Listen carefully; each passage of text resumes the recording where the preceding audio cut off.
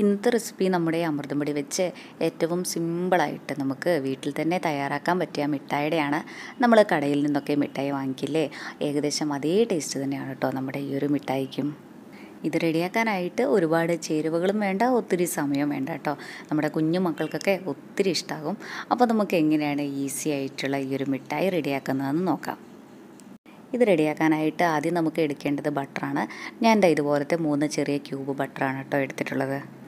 ഇത് മെൽറ്റായി കഴിഞ്ഞിട്ടുള്ള അളവെന്ന് പറയണത് ഒന്നര ടേബിൾ സ്പൂണാണ് കേട്ടോ ഇത് നല്ലപോലെ മെൽറ്റായി കഴിയുമ്പോൾ ഇതിലേക്ക് അര കപ്പ് അമൃതം പൊടി കൂടെ ഇട്ട് കൊടുക്കാം. ഇനി ഇത് നല്ലപോലെ ഇളക്കി കൊടുക്കാം. ലോ ഫ്ലെയിമിൽ വെക്കാനായിട്ട് ശ്രദ്ധിക്കണേ.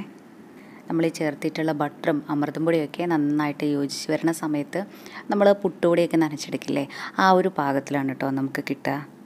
കണ്ടോ ഇതുപോലെ നമ്മുടെ അമൃതം പൊടിയുടെ എല്ലാ ഭാഗത്തും ചെറിയൊരു നനവുണ്ടാവും. നമ്മളിങ്ങനെ ഇളക്കി കൊടുക്കുമ്പോൾ അമൃതം പൊടിയൊക്കെ കുറച്ചൊന്ന് ഡ്രൈ ആയിട്ട് തോന്നുവാണെങ്കിൽ ശകലം ബട്ടർ കൂടെ ചേർത്തിട്ട് ഒന്ന് മിക്സ് ചെയ്തെടുത്താൽ മതി കേട്ടോ.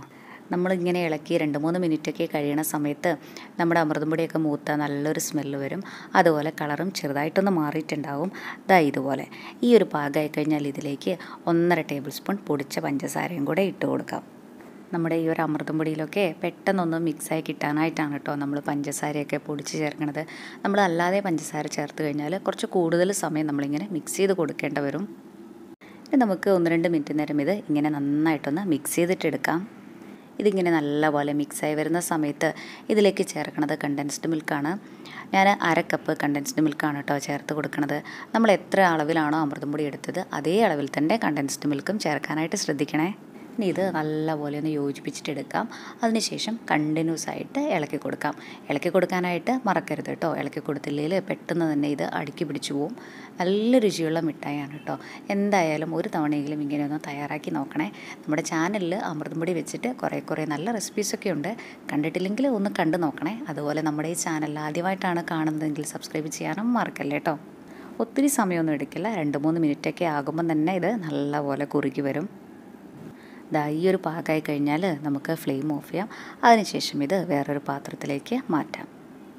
ഇനി ഇതിന്റെ ചൂടൊക്കെ ചെറുതായിട്ടൊന്ന് പോയിട്ട് നമുക്ക് കൈകൊണ്ട് പിടിക്കാൻ പാകത്തിനുള്ള ചൂടാകുന്ന സമയത്ത് നമുക്കിത് ഷെയ്പ്പാക്കിയിട്ടെടുക്കാം ഒത്തിരി തണുത്ത് പോകരുത്. തണുത്ത് പോയി കഴിഞ്ഞാൽ നമുക്കിത് നല്ലപോലെ ഷെയ്പ്പാക്കി എടുക്കാനായിട്ട് കിട്ടില്ല. ചെറിയ ചൂടോടെ വേണം കേട്ടോ ഇതൊക്കെ ചെയ്യാനായിട്ട്. ഞാൻ എന്താ ഈ ഷേപ്പിലാണിത് ചെയ്തിട്ടെടുക്കണത് എല്ലാം തന്നെ നമുക്ക് ഇതേപോലെ റെഡിയാക്കി എടുക്കാം. ഇപ്പോൾ ഇത് തൊട്ട് നോക്കിക്കഴിഞ്ഞാൽ നല്ല സോഫ്റ്റ് ആയിരിക്കും. തണുക്കും തോറും ഇത് കുറച്ച് ഹാർഡായിട്ട് വരും. ഇനി ഞാനിത് ഒരു ബട്ടർ പേപ്പറിൽ കൂടെ ഇതാ ഇങ്ങനെയൊന്ന് പൊതിഞ്ഞുകൂടെ എടുക്കുന്നുണ്ട് ഇങ്ങനെ ചെയ്യണമെന്ന് നിർബന്ധമൊന്നുമില്ല കേട്ടോ. കാണാനായിട്ടൊരു ഭംഗിക്ക് വേണ്ടിയിട്ട് ഇങ്ങനെ ചെയ്യുന്നേ ഉള്ളൂ. എല്ലാം തന്നെ നമുക്ക് ഇതേപോലെ ചെയ്തിട്ടെടുക്കാം. നമ്മുടെ മിഠായിയൊക്കെ ഇപ്പോൾ ഇവിടെ ചൂടൊക്കെ പോയിട്ടുണ്ട്. ഞാനിതൊന്ന് പൊട്ടിച്ചുകൂടെ കാണിച്ചു തരാം. കണ്ടോ ഇതിപ്പോൾ തന്നെ ചെറുതായിട്ടൊന്ന് ടൈറ്റായി തുടങ്ങിയിട്ടുണ്ട്. ഈ ഒരു പാകം മതിയെങ്കിൽ നമുക്കിത് ഇങ്ങനെ തന്നെ കഴിക്കാം. അല്ലെങ്കിൽ കുറച്ചും കൂടെ ഹാർഡായിട്ട് വേണമെന്നുണ്ടെങ്കിൽ ഒരു മണിക്കൂർ നേരം ഒന്ന് ഫ്രിഡ്ജിൽ വെച്ചിട്ട് എടുത്താൽ മതി കേട്ടോ. അപ്പോഴേക്കും ഇത് ഒന്നും കൂടെ ഹാർഡായിട്ടുണ്ടാവും. ഇത് ഞാൻ ഒരു മണിക്കൂർ നേരം ഫ്രിഡ്ജിൽ വെച്ചിട്ട് പുറത്തെടുത്തിട്ടുള്ളതാണ്. ഇതിനെ നമ്മളിങ്ങനെ കൈകൊണ്ട് പൊട്ടിക്കാനായിട്ട് നോക്കിക്കഴിഞ്ഞാൽ നല്ല പാടായിരിക്കും. ഇതിങ്ങനെ ഫ്രിഡ്ജിൽ വെച്ചിട്ട് തണുപ്പിച്ചിട്ട് കഴിക്കുമ്പോഴാണ് കേട്ടോ ഒന്നും കൂടെ നല്ല ടേസ്റ്റ് ഉണ്ടാവുക. നല്ല രുചിയുള്ള ഈ ഒരു മിഠായി കുഞ്ഞുങ്ങൾക്കും വലിയവർക്കും എല്ലാവർക്കും ഒത്തിരി ഇഷ്ടമാകും ഇഷ്ടമായി കഴിഞ്ഞാൽ ഒരു തവണയെങ്കിലും ഇതുപോലെ ഒന്ന് തയ്യാറാക്കി നോക്കണേ. എന്നിട്ട് അഭിപ്രായം പറയാൻ മറക്കല്ലേ. താങ്ക്